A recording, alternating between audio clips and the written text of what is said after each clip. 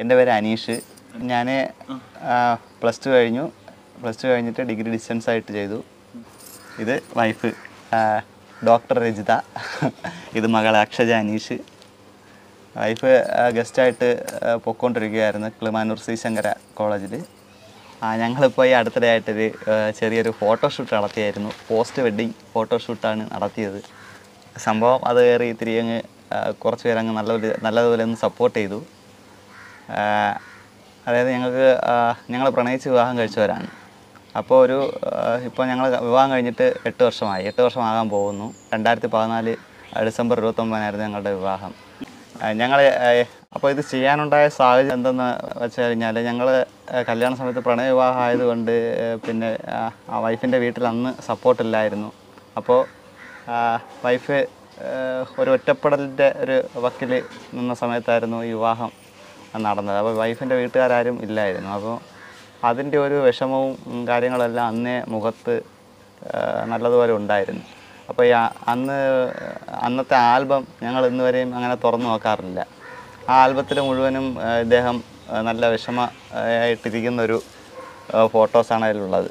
ശരിക്കും പറഞ്ഞാൽ കല്യാണത്തിനൊക്കെ പോകുമ്പോഴത്തേക്ക് എനിക്ക് ഭയങ്കര വിഷമമാണ്.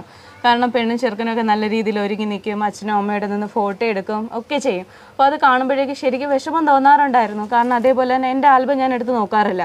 മോൾ ആ ആൽബം എടുക്കാനായിട്ട് തുനിയുമ്പോൾ പോലും ഞാൻ വിരട്ടി ഇത് അല്ലെങ്കിൽ ദേഷ്യപ്പെട്ട് ഞാൻ ദേഷ്യത്തോടു കൂടി മാത്രമേ ഞാൻ അവളോടത് അത് എടുക്കരുത് എന്ന് പറഞ്ഞിട്ടുള്ളായിരുന്നു. അപ്പോൾ പല സ്ഥലങ്ങളിലും കല്യാണങ്ങൾക്ക് പോകുമ്പോഴത്തേക്കും ബ്രൈഡൽ വരുമ്പോഴത്തേക്കും എന്നെ ജസ്റ്റ് നോക്കും. ഞാനത് കാണാറുണ്ട്. പക്ഷെ ഞാൻ കണ്ടില്ല എന്നുള്ള രീതിയിലേ നടക്കുകയുള്ളൂ.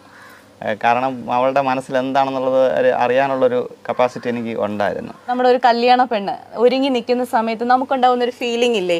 അവർ ഫോട്ടോ എടുക്കുക അങ്ങോട്ട് തിരിയൂ ഇങ്ങോട്ട് തിരിയൂ അങ്ങനെയൊക്കെ പറയുമ്പോഴേക്കും ഉണ്ടാകുന്ന ആ ഒരു മൊമെന്റ് എന്ന് വെച്ചാൽ ശരിക്കും പറഞ്ഞാൽ ഒരു റിയാലിറ്റി ഒരു റിയൽ കല്യാണം വളരെ സന്തോഷത്തോടെ ഒരു കല്യാണം എങ്ങനെയാണ് എന്നുള്ളത് ഫീൽ ചെയ്യാൻ കഴിഞ്ഞു എന്നുള്ളതാണ് ഏറ്റവും വലിയ സന്തോഷം എന്ന് പറയുന്നത്. നമുക്കൊരു നല്ലൊരു ആൽബം സെറ്റ് ചെയ്യുക പഴയതും പുതിയതുമായിട്ട് ജീവിതത്തിൽ ഓർമ്മിക്കാൻ പറ്റിയ രീതിയിലൊരു ആൽബം അതായിരുന്നു ഞങ്ങളുടെ ഒരു ഉദ്ദേശം. കുട്ടികളും ഇറങ്ങിപ്പോയൊക്കെ ഫോട്ടോ ഒക്കെ എടുത്ത് വളരെ സന്തോഷത്തോടു കൂടി എഫ് ബിയിലൊക്കെ പോസ്റ്റ് ചെയ്യുമ്പോൾ ഞാൻ ഇരുന്ന് ഇങ്ങനെ ചോദിക്കും എങ്ങനെയാണ് ഇവർക്ക് ഇതുപോലെ ഇത്രയും സന്തോഷത്തോടെ നിൽക്കാൻ കഴിയുന്നത്?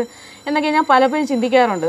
രാവിലെ തന്നെ ഓൺലൈൻ ചില ഓൺലൈൻ മാധ്യമങ്ങളിൽ വാർത്ത വന്ന് ആ, എട്ട് വർഷങ്ങൾക്ക് ശേഷം വിവാഹിതരായി എന്നുള്ള രീതിയിൽ അത് ആഭരണങ്ങൾ മേടിച്ചു നൽകി പിന്നെ അതുപോലെ തന്നെ ബന്ധുക്കൾ എല്ലാവരും ചേർന്നാണ് വിവാഹം നടത്തിയത് എന്നുള്ള രീതിയിലൊക്കെ ഒരു ദിവസം ഞങ്ങൾ രാവിലെ ഇവിടെ നിന്ന് ഞങ്ങൾ മൂന്ന് പേരും ഞങ്ങൾ മൂന്ന് പേര് മാത്രമേ പോയുള്ളൂ. അത് ഞങ്ങൾക്ക് സൂക്ഷിക്കാൻ വേണ്ടിയിട്ടായിരുന്നു യഥാർത്ഥത്തിൽ ഇത് ചെയ്തത്. അമ്മ ചോദിച്ചിട്ടുണ്ട് നമ്മുടെ പഴയ ആൽബം കാണുമ്പോഴത്തേക്ക് അമ്മ ചോദിക്കുക "ആ, ഞാനില്ലാത്ത എന്നെ എന്താണ്? എന്താ എന്നെ കൊണ്ടുപോകാത്ത എന്താന്ന്? എന്നെ കൊണ്ടുപോകാത്ത എന്താന്ന് ചോദിക്കാറുണ്ട്. അപ്പോൾ ആ പരാ ആ പരാതിയും കൂടെ ഞങ്ങൾ മാറ്റി കൊടുത്തിട്ടുണ്ട്.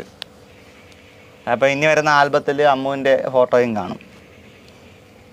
ആൽബം എന്ന് വരും?